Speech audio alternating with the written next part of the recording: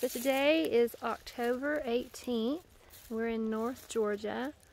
We had a lot of rain last week and we are here at the base of a large dark colored oak tree we have been finding a lot of these hen of the woods maitake mushrooms.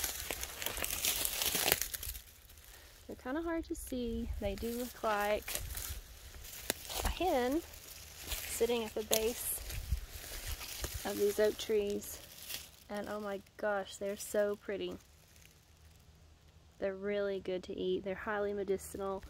Um, there's been a lot of studies on these guys in regards to tumors in mice. You should really look it up.